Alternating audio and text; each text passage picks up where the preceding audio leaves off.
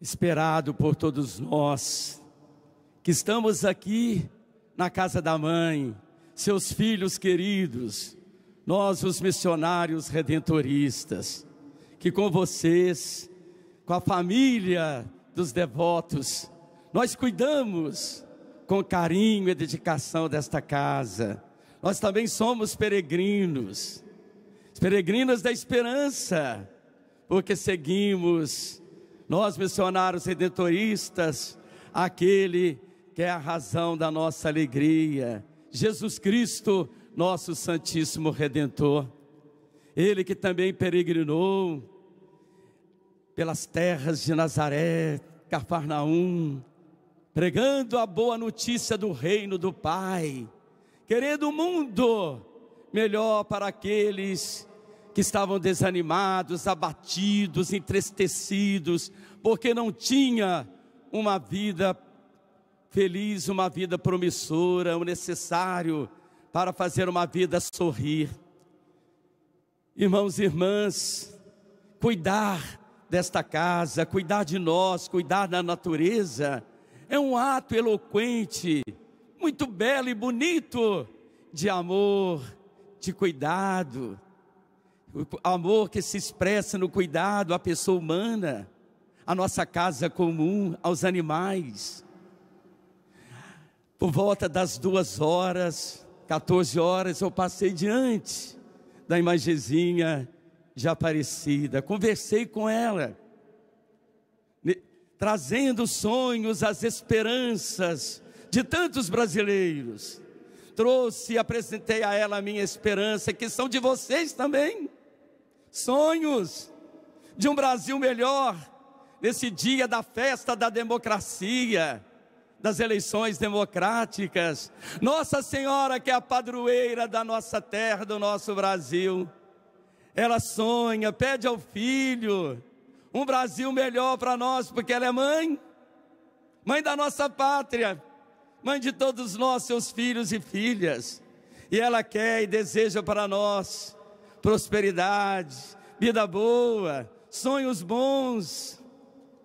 Ela deseja uma pátria feliz, de um povo devoto que possa construir com ela gestos bem concretos de amor. Esse amor que é ágape, é o amor num patamar maior, é a caridade, é o amor desinteressado, é o amor que ama por amar, sem esperar reciprocidade, sem esperar troca. Trocamos amor, mas se eu amo, independente da cor, da raça, se a pessoa é simpática ou não. Eu não vou esperar o retorno, vou continuar a amar. E o amor se torna ainda mais eloquente no perdão, perdoar os inimigos, aqueles que nos perseguem. Esse é o amor ágape, é o amor que faz todos nós sonhar com essa realidade sem males, sem senhores e sem escravos, um Brasil mais próspero, porque nós temos Jesus Cristo, que é a expressão maior do amor do Pai, de tanto Deus amou o mundo que enviou seu Filho, na esperança de ver um mundo, uma humanidade mais feliz. E ele veio de Maria, e hoje ela está feliz. Ela, sorridente, olhando para ela na sua imagenzinha, eu vi uma expressão sorriso dela.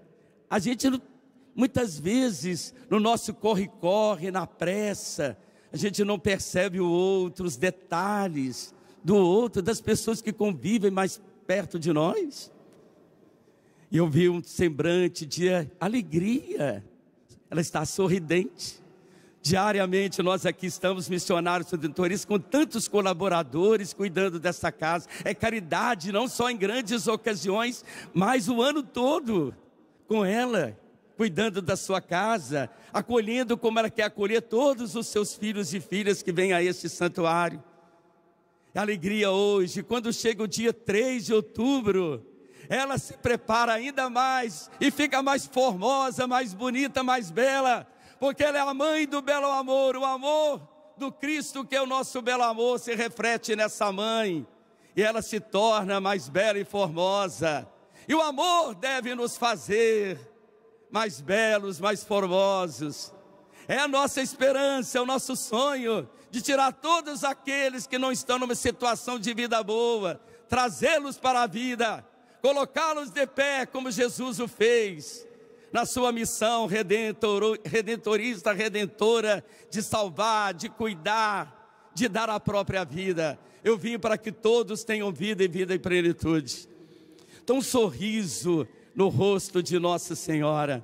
E eu quero acolhê-los, porque somos peregrinos da esperança aqui no seu santuário. Mas como eu não posso fazê-lo, nós todos missionários redetoristas, eu vou pedir a você que acolha em nosso nome, em nome de todos os colaboradores desse santuário, dos devotos da família, da família dos devotos, fique em pé e dê um abraço, dizendo assim: o amor que está em mim acolhe você, meu irmão, que é um lindo presente de Deus. Olha só, o amor que está em mim acolhe você, meu irmão, minha irmã, que é um lindo presente de Deus. Sinta você também acolhido. Receba o nosso abraço, o nosso carinho dos missionários redentoristas. Você que está em sintonia conosco através da rede Aparecida de Comunicação. Então, Nossa Senhora abraça, porque ela é mãe e ela quer a vida e vida boa para todos nós. Ela, como peregrina, irmãos e irmãs, ela também fez um gesto bonito de caridade, levando no seu ventre o primeiro tabernáculo sacrário do Cristo.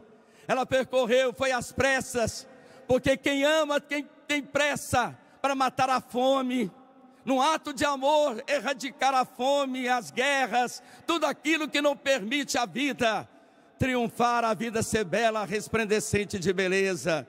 E ela fez esse gesto de caridade. Ela então foi se alegrar com sua prima Isabel, que foi agraciada com o dom da maternidade. Foi levando aquele que é nossa razão, para nós termos alegria, é a nossa alegria, é a nossa esperança. Nele nós temos fé, fé ativa para no exercício da caridade ativa nós construirmos um mundo de esperança. E ela passou três meses cuidando desta prima, se alegrando com ela e fazendo os cuidados que você faz. Não só mulheres, homens também porque não existe mais diferenças de trabalhos de homem e trabalhos de mulheres. Todos nós empenhados no serviço em casa, onde nós habitamos, onde nós trabalhamos. Todos nós somos corresponsáveis na construção do amor, fazer o amor em movimento, trazer esperança, trazer vida nova. O Papa Francisco, irmãos e irmãs, ele tem esse pensamento sobre a caridade e sobre o amor. No exercício também da caridade, nós empenhados como uma igreja que tem esperança, uma igreja sinodal que caminha juntos. E nós queremos então, com o Papa Francisco, colocar em prática o que ele disse nesse pensamento ao falar do amor, do amor ágape. O amor cristão agápico está cheio de pequenos ou grandes gestos de cuidados mútuos.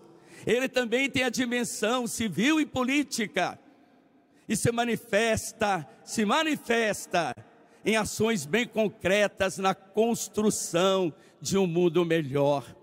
A caridade, portanto, irmãos e irmãs, é uma das virtudes teologais, mas ela é central porque mais do que um gesto de bondade, mais do que um gesto de bondade, ela é compromisso transformador do mundo através de ações unidas na construção da solidariedade para erradicar tudo aquilo que está contra a vida.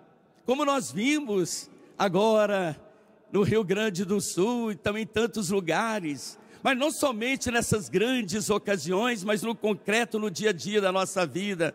Nós vamos ser empenhativos na construção da esperança pelo exercício da caridade. Eu trago também dois exemplos para finalizar de experiências que eu vivi aqui no Brasil e também fora do Brasil, lá na África e Moçambique.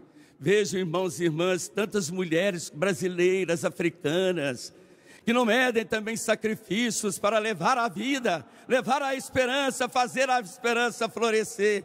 Às vezes em situações precárias, às vezes nós nos sentimos impotentes com o pouco que nós temos, como aquela história do colibri, do beija-flor, grande incêndio numa mata, foi zombado porque ele levava uma gotinha de água no seu bico.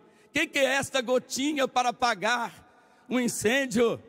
Ele respondeu: É pouco que eu tenho e que eu posso oferecer, o pouco que eu tenho para oferecer, e é o meu gesto de amor.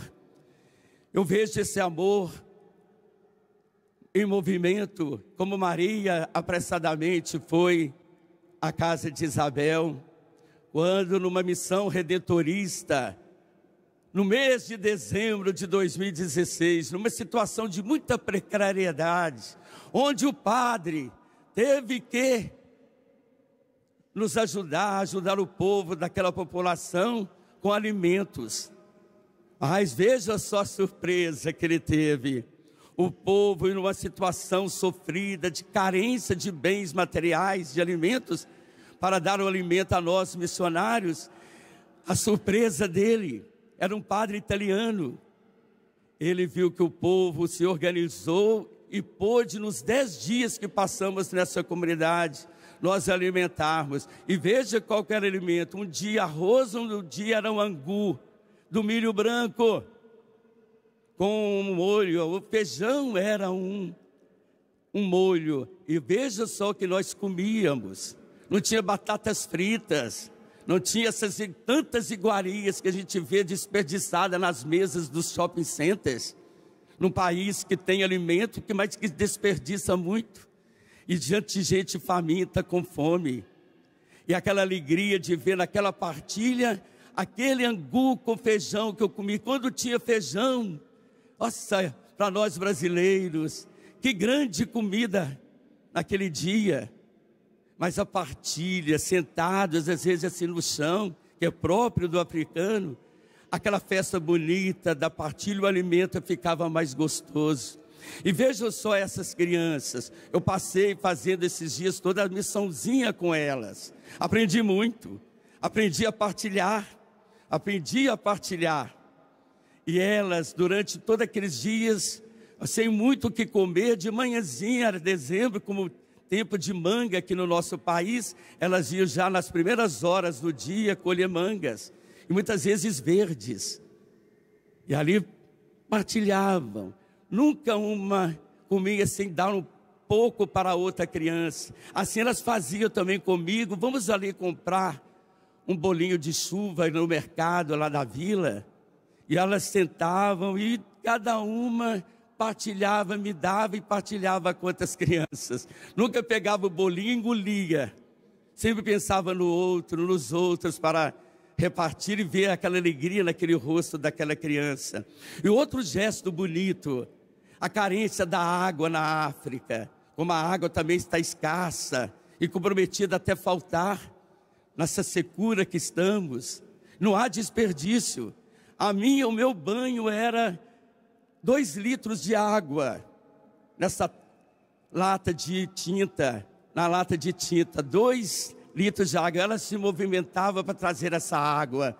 E no volume, com volume maior, podia tomar um banho com abundância de água. E quando terminou essa missão, veja a minha surpresa, elas correram apressadamente para despedir-me de mim, que eu já estava na estrada esperando outro missionário elas ofereceram para mim três mangas, eu não sei onde elas buscaram, num gesto de partilha. E o Evangelho de hoje vem nos lembrar que nós um dia seremos acolhidos no reino definitivo do Pai. Quem fazer o gesto da partilha, da entrega, da fraternidade, do amor mútuo. Vem bendito do meu Pai assumir o reino que eu preparei para vocês desde toda a eternidade. O que partir, o que faz a caridade, vai ser abraçado pelo Pai.